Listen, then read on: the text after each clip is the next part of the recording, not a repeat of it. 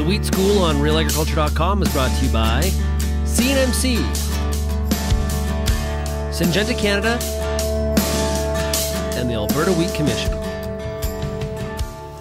For Real Agriculture, I'm Kelvin Heppner, and pleased to be joined now by Manitoba agriculture entomologist John Gavloski. And John, uh, we've seen more issues with armyworm in uh, here in Manitoba in cereal crops this year than in uh, in the past or in recent memory. Why is that? Why has armyworm been an issue? Well, armyworms are an insect that migrates in, so it's a purposeful migration that they do. They're they're a um, uh, a light brown moth with a little tiny white spot on their wings and uh, they don't overwinter here. But again, they migrate north, and this year there was a really big migration that came in. Uh, it looks like it probably arrived in Manitoba the last week in May, the first week in June. We've got some pheromone baited traps set up, and that seems to indicate that was the time period when they arrived in this big migration. And it wasn't just a particular area of the province. In some years, it might just be the eastern part of the province or a regional effect. But this year, um, they migrated in in big numbers and they basically we're finding them all agricultural regions and as far north as the Pas. Okay. They migrate intentionally, though, or would this have had to do with the, a strong south wind, for example? The strong south winds can help, but uh, wind or no wind, they do have this purposeful migration north that they do. Okay. So it, it's a little different than something like diamondback moth, where it is strictly wind assisted, not a purposeful migration. Okay. Take us through the, the thresholds in that whole decision making process when you're scouting for armyworms in terms of, uh, of taking control action against them. So yeah, so it's the caterpillars that of course do the damage, and they have a preference for uh, grassy plants. So um, when they're laying their eggs, they really like dense grassy stands to lay eggs into. So something like fall rye, winter wheat, forage grasses, potentially spring cereals too, um, especially if they're earlier seeded. So that's where you'd be looking. And the easiest way to check is measure out an area that's roughly about a foot square. So um, I use a triangle that's got three sides to it. I just put that into the uh, soil and mark out my foot square, but you can just use a ruler or whatever. Um, shake the plants in the area in case you've got some on the plants just to knock them to the ground. Now during the day, they're nocturnal, they most should be on the ground anyway.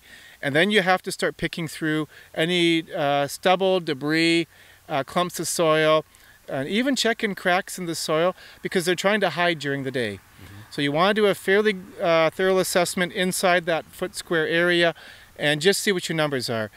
Uh, in uh, your cereal crops, your small grains, if you're over about four, on average about four in a foot square, that's what we consider threshold. If you have started to see them clip heads, then lower that to about two per square foot. Okay. What does it mean if we see them climbing the stem and eating at the top of the plant?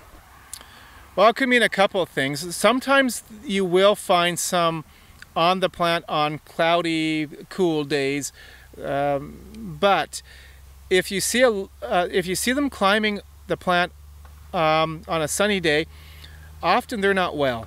And one of the reasons they might be doing that is there's a, a little wasp called Cotesia. It's what we call a parasitoid of armyworms.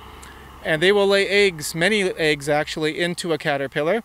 Um, and when the caterpillar uh, is in, infected like this, eventually uh, when the Cotesia larvae that are now living inside the armyworm are ready to emerge, the armyworms will climb to the top of the plant and kind of uh, cling or, or be uh, um, uh, stationary there and you will get this massive um, movement of the Cotesia larva out of the armyworm. It happens almost instantaneously where dozens of the parasitoids will be emerging out of one individual armyworm and very quickly they will spin pupa cases and it almost looks like an egg sac on the top of the cereal grains. So if you start to see what look like egg sacs up there, they could be pupal clusters of Cotesia. Okay, and that might mean that you have a, a natural pest that's taking care of the armyworm population or managing it. So yes, in this case, um, it's, it's a parasitoid that is naturally found around here. I said pest. I meant beneficial It's a, insect. I it's guess. a beneficial Yeah. insect, exactly. Um, their role is strictly uh, beneficial. They they're parasitizing caterpillars, armyworms being one of them, but they will also parasitize cutworms, and we've seen them actually parasitize diamondback moth as well.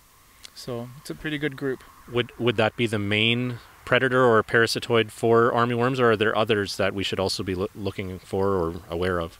There's others. Um, now, uh, Cotesia is one of the main parasitoids, and there are others of those. But there's also predators, and there's a lot of things that would like to feed on cutworms. And one group that really stands out is the ground beetles. They're super numerous. There's a lot of different species.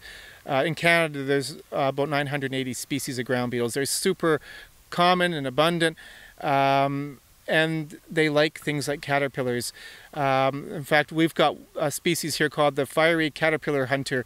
Fairly large ground beetle, and they'll consume several um, caterpillars in a day. So if, if they're in a field with a lot of armyworms, each individual one will consume several uh, armyworms in a day. Okay.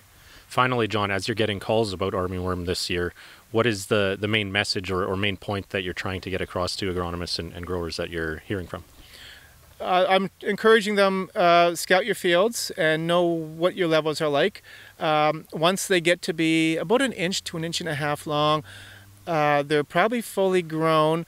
They will start pupating soon. We do get a second cycle in a year, but usually that second cycle isn't as damaging as the first cycle. Parasitoids could be a reason, and often uh, our cereal grains are too mature really when that second cycle is happening for that for them to be an issue. Uh, the other thing too that a lot of people have been asking about is, well, what if I've got something like canola or soybeans next to a cereal field that's really had a lot of defoliation? Will they move into those other crops and feed? And the short answer is potentially.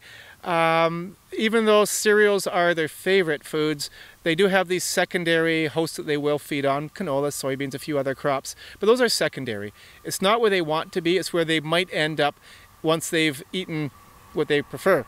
Um, if you do see uh, a big movement of them, now they call them army worms because if they do defoliate uh, a stand uh, pretty severely, they can move uh, across a road, say into a neighboring crop. If you see that happening, um, just do an edge pass along the secondary host, and that is usually enough. Okay. Are there certain insecticide groups that you prefer or that you recommend in terms of taking action against them?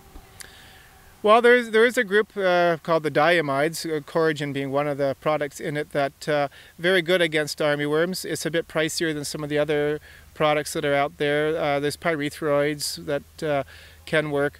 Um, uh, if it's uh, an edge spray, something with a bit of residual though is a good strategy. That way, uh, you'll catch them moving in for a several day period. Thanks for your time again today, John. Okay, thank you.